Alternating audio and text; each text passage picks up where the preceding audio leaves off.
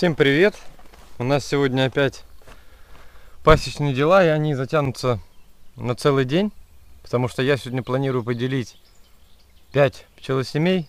Но если успею, то только 3 среднерусские, потому что мне еще сейчас с утра надо доделать подставки здесь. Вот я тут вчера начал делать, одну вообще что-то с дуру такую высоченную сделал, вот ее надо сейчас срезать и сделать вот такой высоты, как это. Потому что, ну уж, перебор. Вот э, по два улья.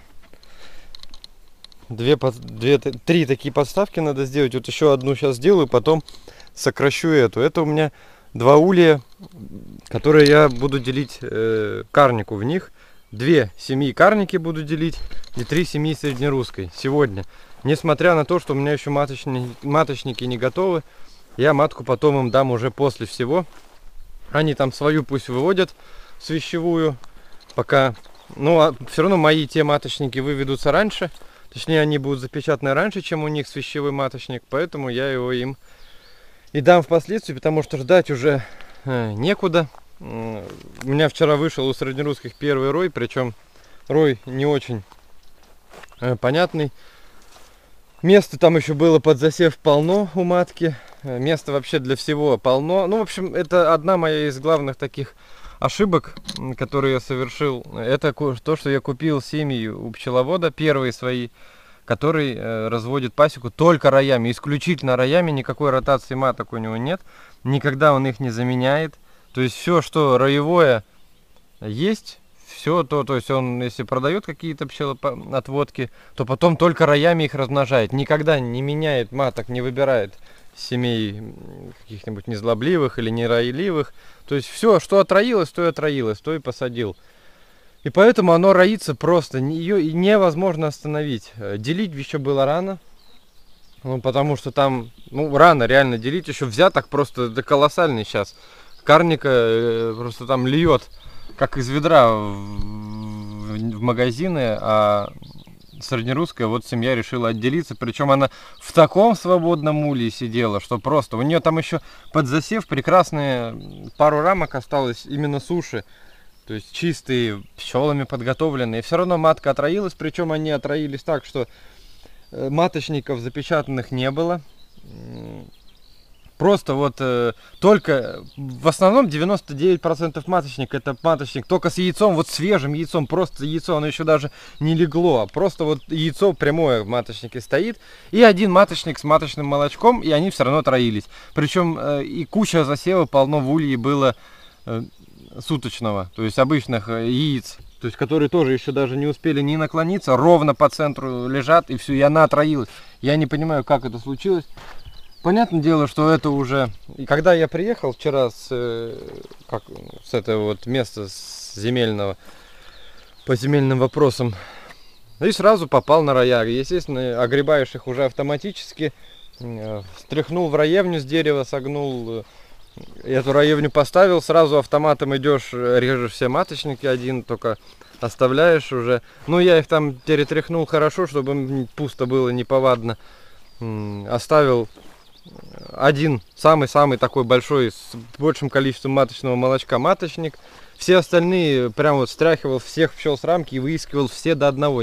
Потому что, ну, потому что психанул, как говорится. Оставил их открытыми, полностью холстики все снял, пусть роятся дальше, блин. В общем, это такая единственная семья, которая... Ну, я не знаю, другие я посмотрел, э, кое-где есть, конечно, Э, мат, в маточниках яйца. Но чтобы вот такого, как у этой семьи, непонятно, это жесть.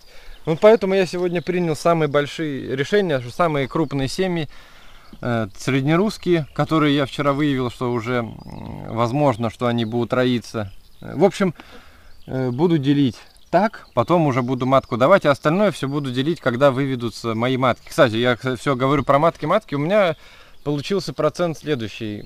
28 э, при вот этих цоколей я поставил, 27 приняли. 27 приняли на воспитание, ни одного свящевого маточника не заложили. Вчера все просмотрел. То есть все получилось четко, вовремя. По, э, по ликвидации матки. Они еще не успели за 5 часов там ничего сделать. И им достаточно вот этих 27 маточников. Один маточник, они его начали тянуть, а потом передумали. Может личинка там плохо лежала или что-то им не понравилось. В общем, всего 27. Мне вообще за глаза если они все 27 э, выйдут, и они будут достаточно хорошие, то есть мне хватит и сменить тех маток, которых я хочу сменить в основных семьях, и хватит сделать отводки на эти 27 маток. Так что сейчас приступим к изготовлению, точнее к доделке третьей и уменьшению длины этой, а потом, потом мне сделаю приспособление для того, чтобы транспортировать эти ули, надо гребенку сделать, чтобы рамки друг от друга не бились, потому что я буду, как делать? Я буду делить среднерусских, вести сюда, а, потому что я буду делить все, всех пчел, в том числе и летных, буду ссыпать в гнездо, а это возможно только в том случае, если увозить потом на довольно далекое расстояние от э, пасеки, от водок, тогда эти летные пчелы не вернутся обратно. В общем, я буду делить и летных пчел часть сюда, чтобы сразу э, какой-то там водосбор был и небольшой принос был э, взяток поддерживающий, пока они будут матку выводить здесь. И поставлю три сюда среднерусских, эти два поделю, поставлю туда, а через неделю или через полторы верну их обратно на эту пасеку, потому что на этот тачок я буду все отводки ставить, все, что я буду делать новое, я буду ставить здесь, потому что здесь медосбор в разы лучше, чем у меня там возле дома. Потом впоследствии, может быть, я вообще сюда полностью перееду. Посмотрим, надо немножко э, резких движений лучше не совершать, посмотрим, потому что там, здесь все-таки есть вероятность медведя, э, потому что он вот буквально там через 100, 150 или 200 метров я в прошлом году нашел следы медведя, медведицы с, медве, с медвежонком. Поэтому они здесь спокойно могут дойти сюда от границы леса. Поэтому лучше быть поаккуратнее, посмотрим. Надо лучше доделать все, обнести какой-нибудь колючей проволокой, а потом уже переносить и всю пасеку сюда, чтобы увеличить как-то медосборы, чтобы не было такого, что вот одна роится, вдруг и другая роится, и одновременно это все происходит. В общем, ладно. Поехали. Меньше слов, больше дела.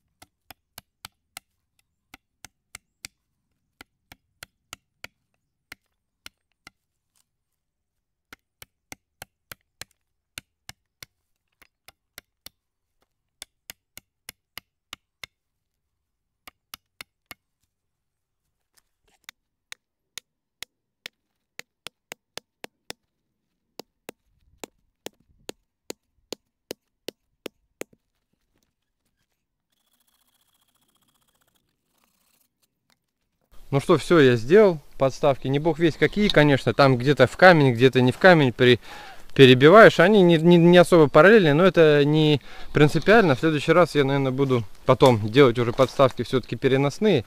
Здесь, здесь будет несколько рядов таких вот стационарных.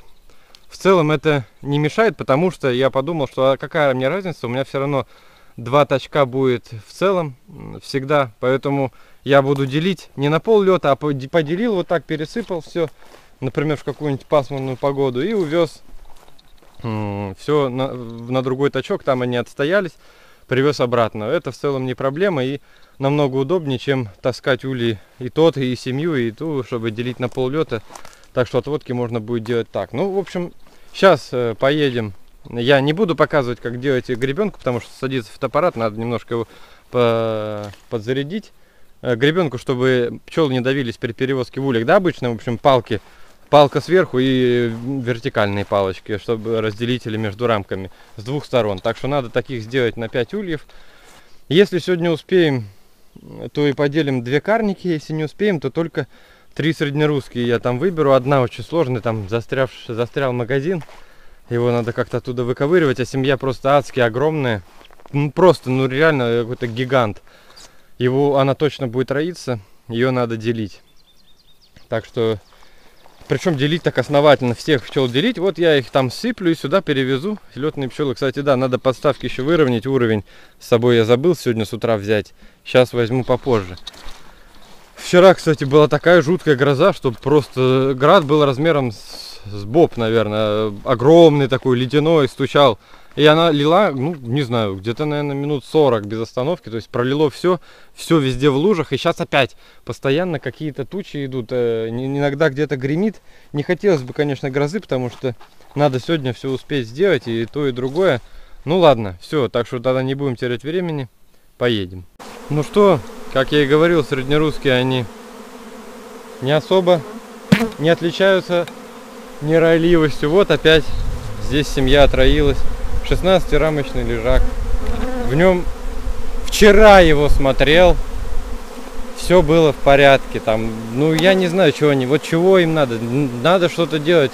Наверное, все-таки увозить санцепека. Взяток есть, все есть. Ну что, будем ждать. Вон они все там кружатся. Сейчас начнут прививаться, будем стряхивать. Объединю их э, с э, тем роем, что у меня там уже лежит, остывает пока в кустах. Он маленький. И вот именно, что маленькие рои выходят. Вообще какие-то, ну, не рой вовсе, и все равно роятся. Так что, ладно, э, посмотрим. Сейчас я тогда его огребу, а потом уже будем делить семьи. Я там почти все подготовил, что надо. Но я боюсь, что тут они...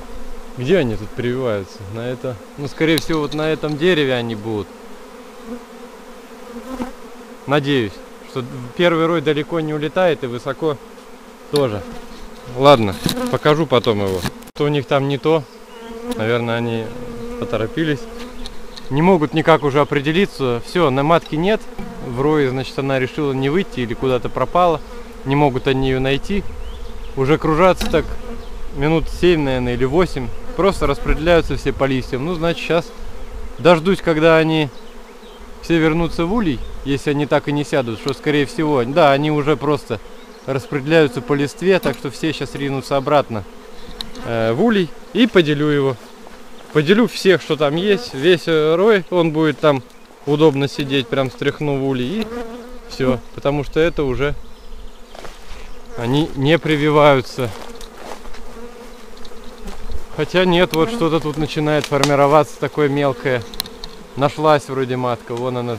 Очень удобно мне, конечно, вот на это огромное дерево опять лезть. Ой, ладно. Пойду пилить, что делать. Сейчас какую-нибудь лестницу тут найду. Ненько подпилил сучок, чтобы его можно было согнуть. Вот теперь рой, в принципе, в доступе в свободном. Вот пчел, ну, нормальный рой. Не огромный, но сойдет. Такое успеет до медосбора развиться уже основательно. Я его объединять с тем роем не буду. Как самостоятельную единицу возьму. Поэтому сейчас я его здесь стряхну. Оставлю, э, чтобы он залетал в раевню, собирался. А в это время пока разожгу дымарь и срежу все маточники в отроившейся семье, вот в этой. Все сейчас там почикаем. Оставим один.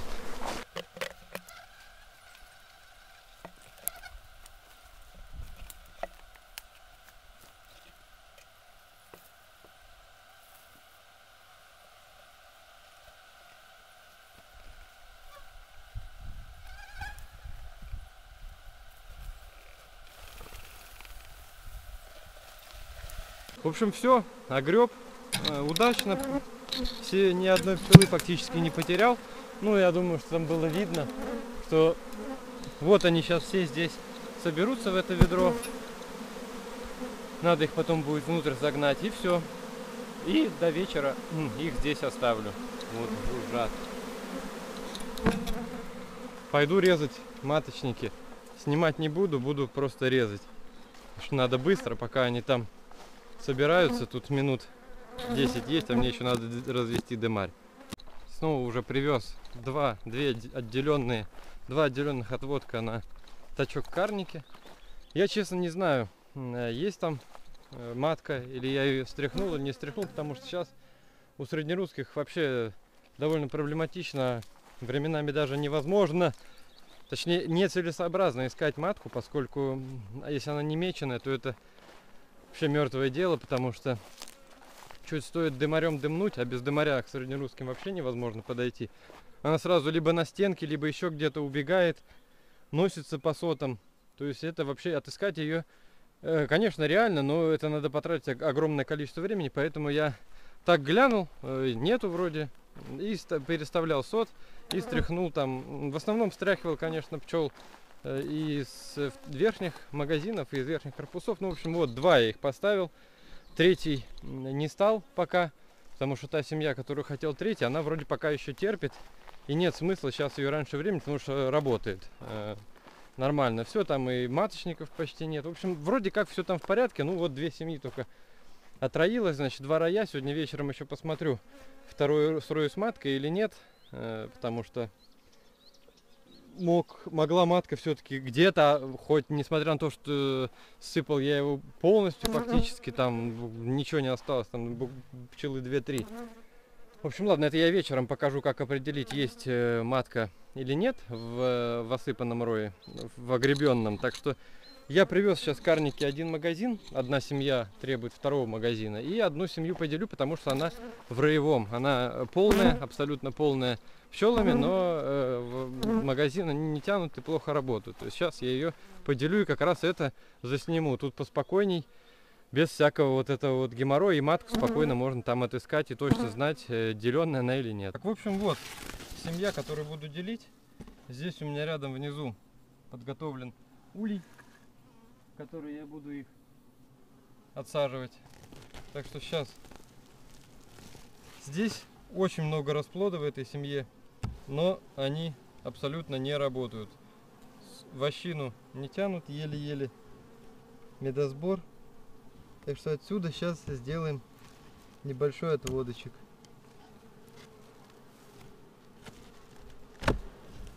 Абсолютно пустой магазин.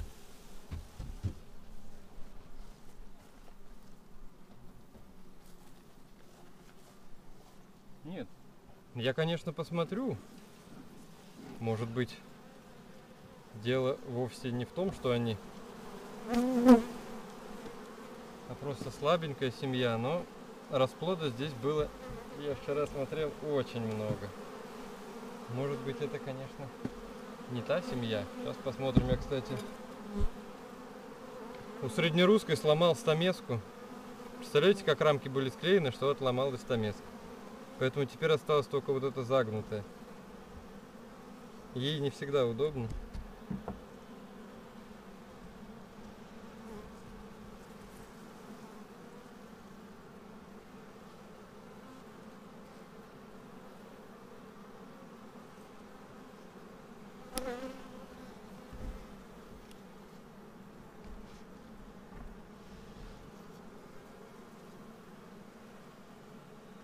Кормовая. Ну да, здесь, мне кажется, делить, конечно, надо проверить, чего они вдруг. Вот расплод пошел уже.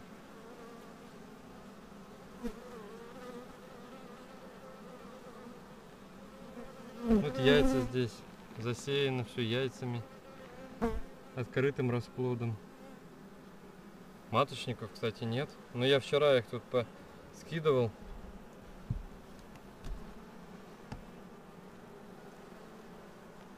Вот опять расплода. Вот, целая, от корки до корки запечатана.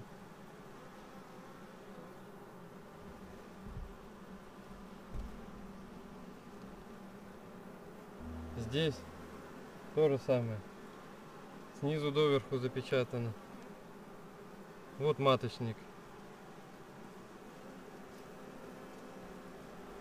Сейчас я проверю. Отойди. Яйцо в маточнике. Все, давайте резать тогда все маточники и поделим. С печатным расплодом. Ну, вот это подойдет.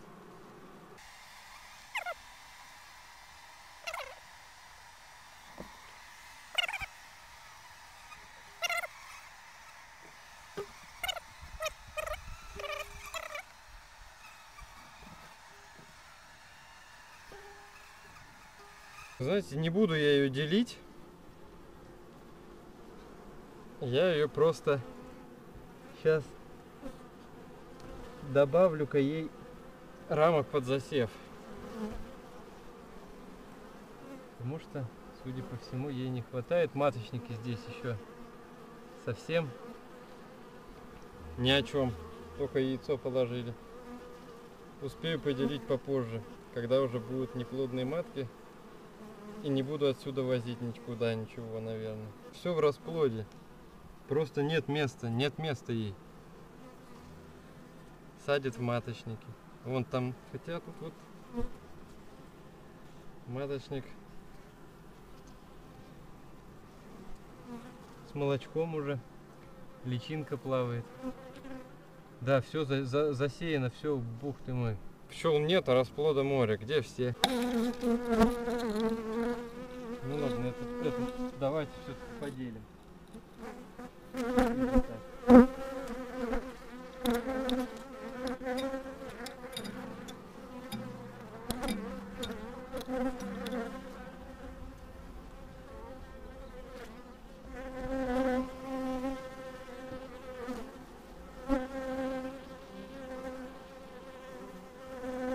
Здесь все. О, какой огромный маточник тут. Ну да, все-таки надо делить, она в рыбу. Дало его. Вот маточное молочко. Пчелы доедят.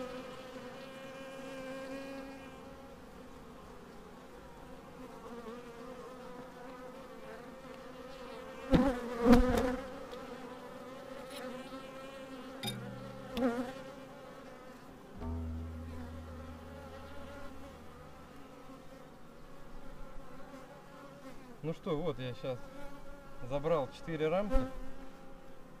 Теперь надо выяснить точно, где матка. Она должна остаться здесь. И сейчас мы ей место под засев просто дадим. И все. Сейчас поищу ее. Это кормовая, тяжеленная, пусть будет. Сначала надо поискать здесь.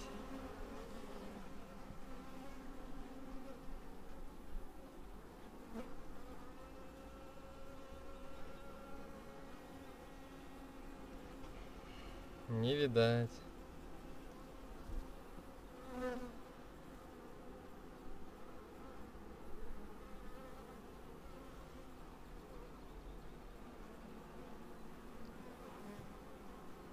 Здесь не видать.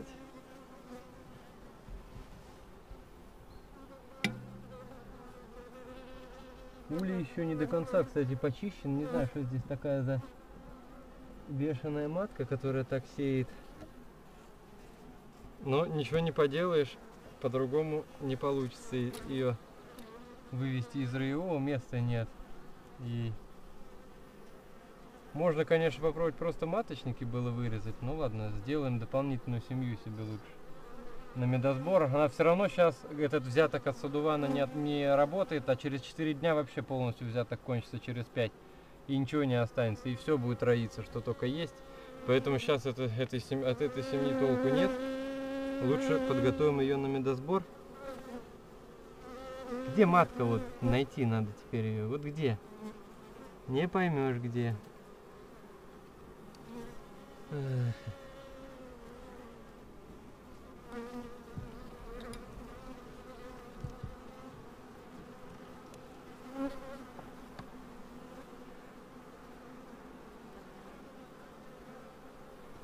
Сейчас весь этот печатный расплод выйдет. Семья очень сильно усилится. Где ваша матка, а? Черти. Это тоже не меченая. Совсем неудобно их искать. Наверное, перенес на соте. Обалдеть, сколько расплода, конечно. Хорошая получилась матка, несмотря на то, что роевая.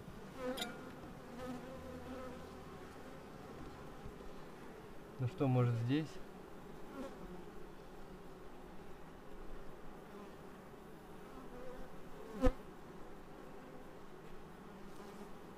Здесь нет.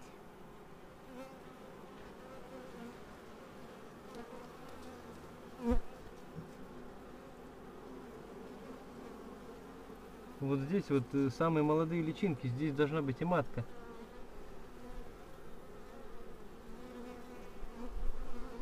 но не видно.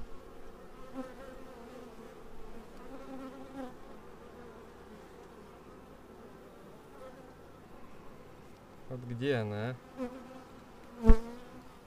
Надо ее пометить сразу будет, как только найду. Потому что это не дело.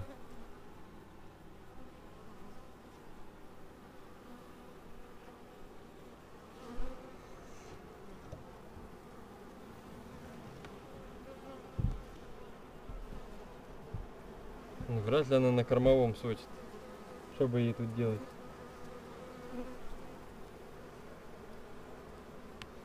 Абсолютно нечего, ладно.